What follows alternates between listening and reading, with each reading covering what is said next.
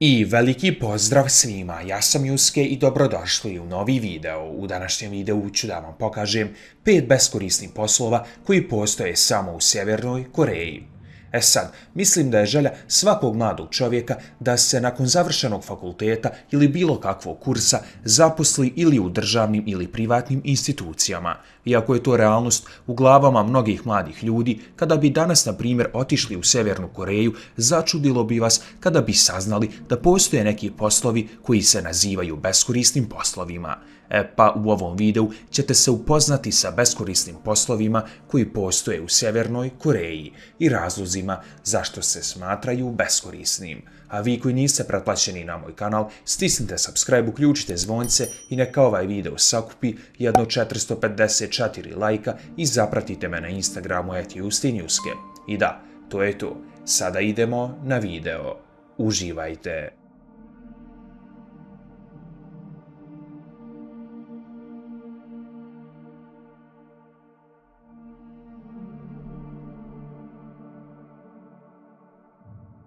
Kim Jong-un je navodno veoma izbjerljiv vođa, posebno kada je u pitanju hrana koju jede.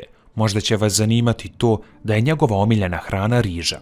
E pa, zbog toga koliko voli rižu, neko mora biti zaposlen i imenovan za inspektora riže, ma koliko god to smiješno zvučalo. Glavna odgovornost ove osobe je da prebroji zrna riže jedno za drugim, kako bi se osiguralo da u njemu nema nečeg što nije riža, Ne samo Kim Jong-un, već i njegov otac Kim Jong-il bio je jedinstveni vođa koji je donosio mnoga takva pravila za svoje građane, počevši od jela pa do oblačenja, što čini posao inspektoru za rižu veoma teškim. Jer ako mu samo jedno zrno promakne, ode mu glava, jer kuvar prije kuvanja mora imati samo najkvalitetniju rižu.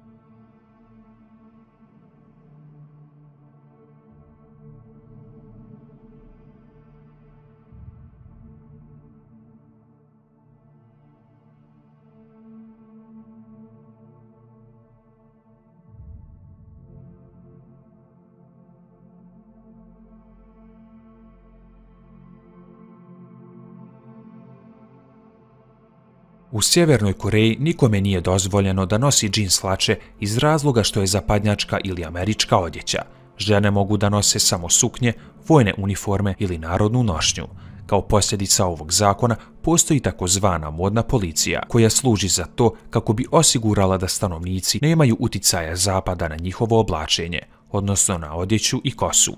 Ako osoba bude proglašena krivom, bit će odvedena direktno u radni logor, gdje će se morati suočiti sa kaznom.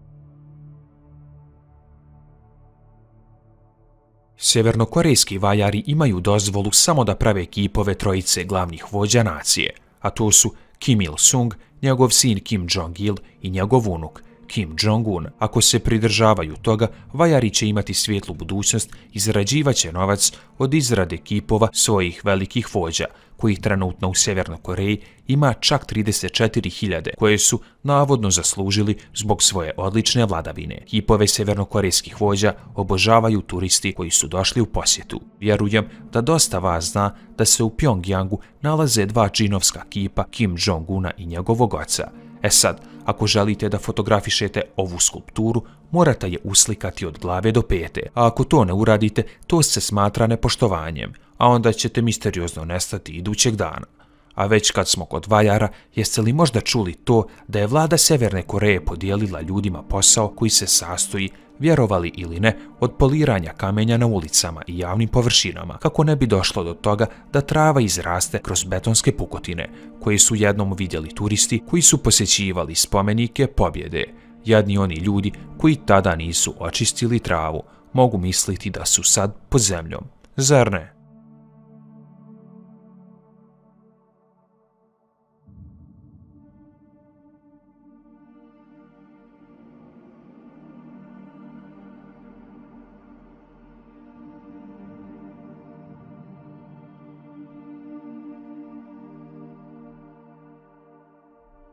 Kada bi danas otišli u Severnu Koreju, jedine osobe koje bi vidjeli na radnom mjestu jesu prometni policajci, odnosno mlade, slobodne i lijepe dame. Ovaj posao se smatra beskorisnim jer kriterijum za zapošljavanje ovih dama jeste da imaju 16 godina, da su visoke, neudate, moraju biti veoma lijepe, a zanimljivo je i to da starosna granica za odlazak u penziju za ovo radno mjesto iznosi 26 godina. Osoba koja zapošljava ove mlade dame nije niko drugi nego severnokorejski heroj Kim Jong-un.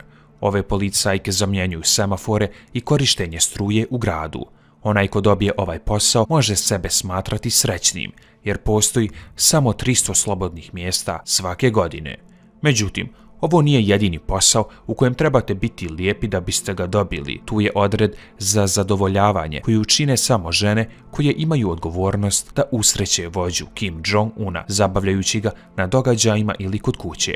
Kada je otac vođe trebao da umre, njegove dame su otpuštene sa posla i dato im je po 4000 dolara, što je u Severnoj Koreji stvarno puno novca, kako bi držale zatvorena usta, što znači da ne bi trebalo da otkrivaju tajne predsjedničke kuće na polju.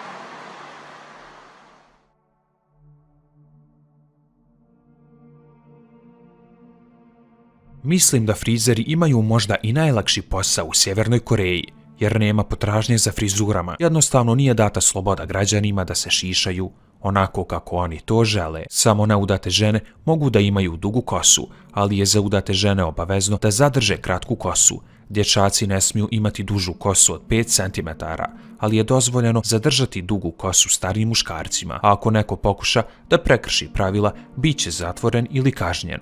Navodno, Sjeverna Koreja ima striktno pravilo kada je riječ o frizurama. Postoji samo 28 zvaničnih frizura, 10 za muškarce i 18 za žene.